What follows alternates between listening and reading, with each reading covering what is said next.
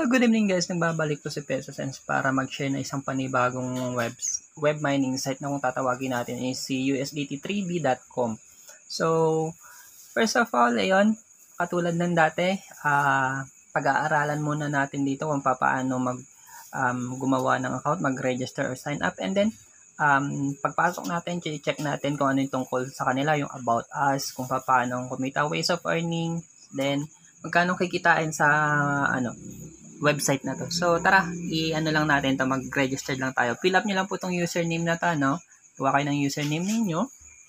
And then, lagay kayo ng password. Ulit, lagay nyo ulit yung password ninyo.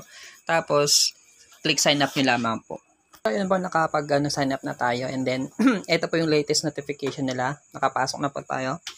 So, in order to thank the majority of investors for their support to the company, we have launched a deposit bonus campaign. So, event period. So, June 21 to June 28. Anong petsa na ngayon? So, covered pa siya ng ano nila, um, deposit campaign period nila. So, ayan, a single recharge of 300 USDT will get get an additional 100. So, may bonus nga po pala talaga.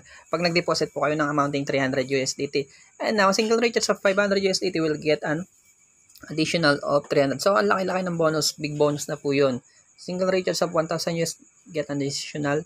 So, ayan po guys, pakicheck na lamang po kung magkano makuha yung bonus. Pero, unahan ko na kayo, papaalala ko kayo. Medyo mabigat na po sa bulsa yan kasi sinasabing may, ano yan, pamigay.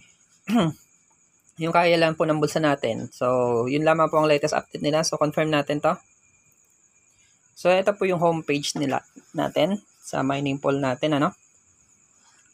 So, paano bang kumita rito? Ano bang, ano nila dito? Check na natin, guys. Mhm. So, wala. So, nandito, nakakalagay dito, um, um, nakalagay dito may mga plan sila or investment uh, program sila rito. Ito, unang-una nakalagay dito is USDT Fund One Day Experience Program, which is, a minimum amount of deposit or investment mo rito is amounting 10 USDT. Then, ang ano nila, daily income mo rito is 0.4 USDT or 4%. So, okay naman po yun. Medyo malaki-laki na yon Maximum amount is ito na. Ilang digits na pinag-usapan, malaki-laki na yan. Hindi naman tayo aabot sa ganun. And again, just a gentle reminder, pagka ganito mga platforms, kailangan nyo po ng uh, ano dito, um, nito, mga Binance po, ganyan. Yan. Tapos, yun nga po, isa pang paalala ay pag kayo maglalagay ng mga malalaking halaga, lalong-lalo na mabigat sa bulsa or pinag-ipunan nyo yan or may pinaglalaan kayo dyan. Base sa experience ko po, sa mga ganito, hindi siya nagtatagal may mer may mangilan-ngilan na nagtatagal pero nabibilang sa kamay ko po sa mga lahat ng prinomote ko. So, continue tayo. Ayan, 10 USDT. VIP level 1 po yon. Uh, hindi, uh, fun day experience po pala yon. So, meron dito, si uh, USDT 7 day naman to. So, pitong araw. Magkano pang minimum ng pitong araw na yan? Na cycle niya. Pitong araw yan, meaning to say pitong araw kayo bago maka-withdraw dyan, I guess.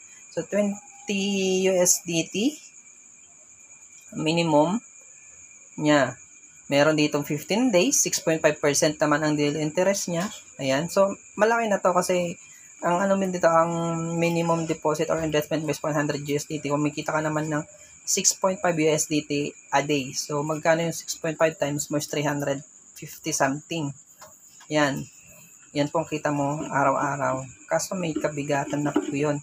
So, ito pa, USDT, um, 30 day, 11%. So, minimum amount niya is 100 USD pa rin. Kaso nga lang, pinagkaiba yung cycle niya, which is magiging 30 days. Although, 11% naman po yung daily interest niya or 11 USDT ang, ang income niya.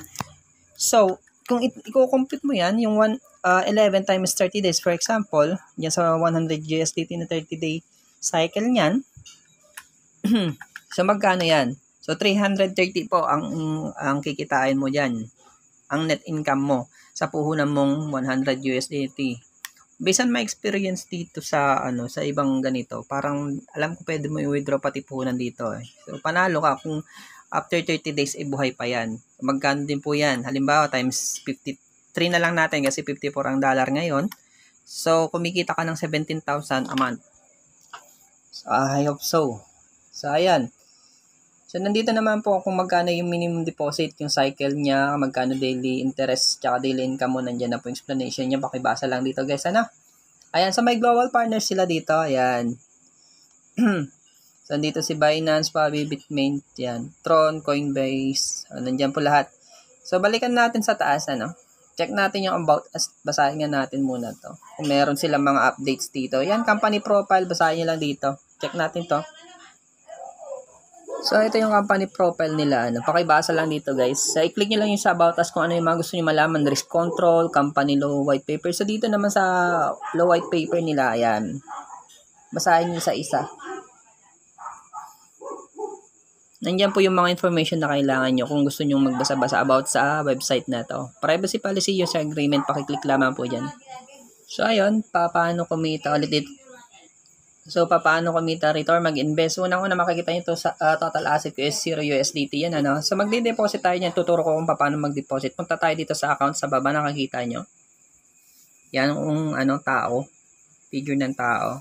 So, dito click natin tong deposit na to. Zero, makikita nyo guys, zero pa rin ako dyan. Para makita nyo. So, ayan, pwede siyang QR code or copy address. Click lang natin tong copy address na to. If the recharge amount is less than 0.0, the system will not deposit. Ayan. O copy tayo, no? Ayan. Ngayon, nakopy natin tong wallet address ng, ano, ng website. Punta tayo sa Binance. Punta lang tayo sa Binance ko.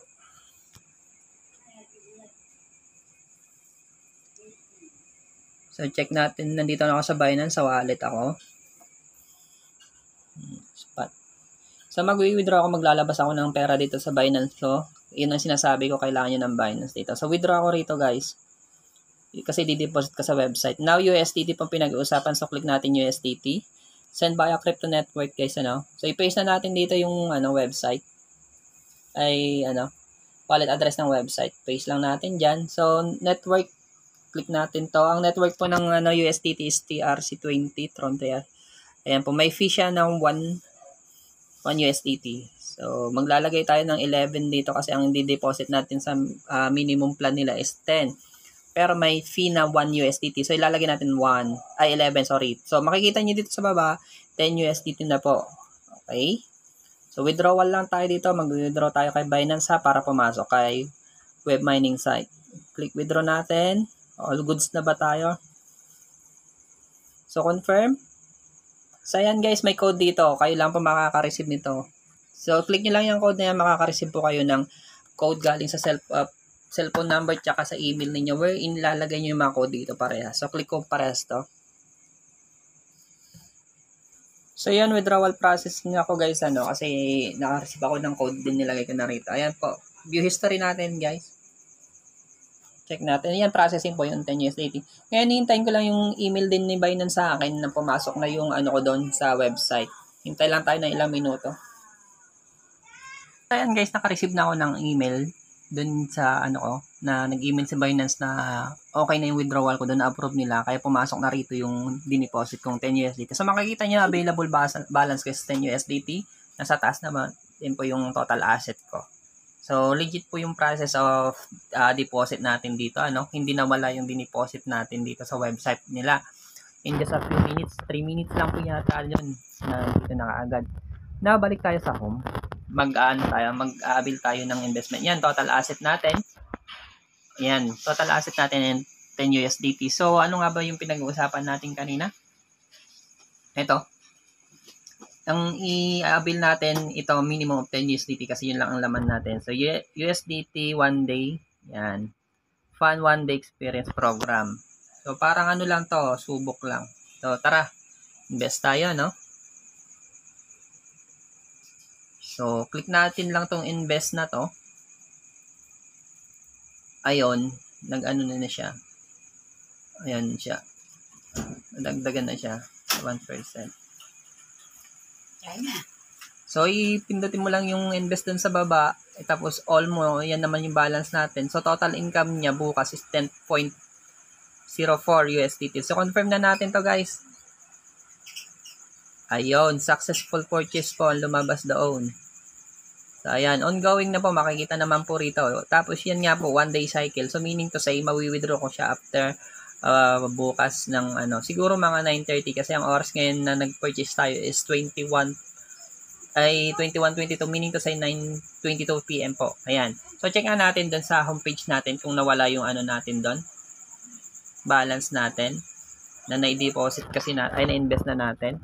So ayan, nakalagay naman na po rito guys, zero available na po yung balance natin. Ito sa baba guys, at tapos total asset natin is 10.4 na. Pumasok naman na po yung interest kasi ongoing pa lang po yan. Uh, ano niya, mawi-withdraw natin yan boss, katulad ng sinabi ko, um, mga 9.30. So ayun nga po, um, 9.30 na. Uh, katulad din yung pangako ko kagabi, magwi-withdraw tayo, papakita natin yung withdrawal since um, uh, 24 hours po, isang video lang yung ginawa ko para may pakita natin yung uh, process of withdrawal dito. So ngayon kung mag-withdraw tayo dito, kukunin muna natin yung wallet address natin dun sa Binance para ipunta rito. Paatras lang naman po eh, vice versa lang yung operation dito. So withdraw, punta tayo sa Binance. Dito, magdi-deposit tayo dito. Ito lalagyan natin, Binance natin, wallet address natin. So, yung network po ng ano natin, Tron. So, yan, nakakopy na natin. Balik tayo rito. So, withdraw natin. Click lang po itong withdraw. Ayan. Nakikita nyo yung total assets po natin is 10.4 USDT. Tapos yung principal 10 USDT. Tandaan yung mga numbers yan para makita natin kung ano. So, click withdrawals. So, okay. Dito, kailangan po ng password dito. Ano? Maglalagay lang ako ng number dyan. So, i-click lang natin tong amount dito. I-all na lang natin kasi 10.4 yun nandyan. Katulad din naman po ng ano, pag-deposit. All lang po. Na-modify ko na yung password ko na all. Ayan. Tapos i-paste natin dito yung wallet address ng Binance. Wait lang.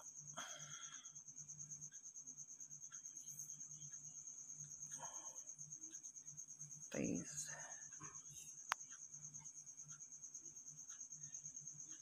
So, na-save ko na po. Balik ako sa withdrawal. Yan. Yan ako na dito lagay ko ulit dito. Ayan, pipiliin ko lang po yan. So, okay na, nandiyan na po yung wallet address ko, ano. Uh, naka-all naman na po. Lalagay ko lang yung password ko rito, ano. So, ayan po, nailagay ko na rin po yung password ko. Then, click na natin tong submit. Nailagay na natin yung wallet address, yung password, then yung amount ay withdraw natin. Click submit. So, ayan, withdrawal application is successful. So, hintayin na lang natin yung email ni i ano kung ano papasok doon sa Binance natin. Check lang tayo ng ano ng uh, wait lang tayo ng ilang minutes ng email. Ayan. So anyway guys, kung gusto niyo pong ano dito magkaroon pa ng additional income ano, mag-invite lang po kayo rito and every ano invites niyo may makukuha ko po kayong ano dito um reward. Ayan po. Pag nag-invite po kayo may makukuha kayong reward nandito po. So ito po yung invitation link ninyo, may invitation roles din naman po sila rito. Pag nag-invite po kayo, copy nyo lang yung link na yan, i-paste nyo, tapos yun yung invitation code nyo. Copy link, then post sa any social media account niyo like YouTube, Facebook, Instagram, WhatsApp, or um, kahit sa TikTok po. Pwedeng direct message po din, i-guide nyo na lamang po sa uh, registration and pag invest dito. Yung invitation rules nila. So, nandito ang mga invitation rules nila or reward introduction. First level member, recharge, reward 0%, second level. So, nandiyan po, confirm lang yan. Ayan po. So, wala pa po kung nakalagay yung hindi pa ako nag-invite. I-check ko muna yung withdrawal ko kung um, positive tayo dun or legit yung withdrawal process natin. So, hintay-hintay lang po tayo guys ha. Malalaman naman po natin dito sa ano, sa withdrawal record kung nag-success pa yun. No? So, ayan, processing pa lang po. Hintayin natin mag-success po yan sa uh, withdrawal um, records. Hintay-hintay lang po tayo. So ayan po guys, dumating na yung ano, yung withdraw ko. May email na sa akin si ano. And then makikita niyo naman dito zero na yung available balance ko, zero USDT na. Then check natin yung withdrawal record kung ano na. Kanina processing po yun ano. Check natin yung withdrawal records. So success na po yan po. Makikita niyo, success na po. Anong oras po nakalagay diyan? 21:35 po. Okay? So okay na. Check natin naman sa Binance kung talaga nandoon. So, ito po, yung history ng deposit sa Binance ko. So, ayan, 21.41, 21.35 ko winidraw, 21.41 dumating. So, 6 minutes po pagitan. Yan, 10.4. So, 10.4 po yung winidraw natin kanina. Kaya, ano. So, ganun lamang po ka-basic dito, mag-withdraw. Mabilis lang naman po yung ano dito. So, nakakuha ko na ako. Yung nilagay kong 10 USDT kahapon, then winidraw ko ngayon, may point ah, 0.4 na ano tubo na kaagad. So how much more kung mas malaki yung ano ko yung dineposit ko rito.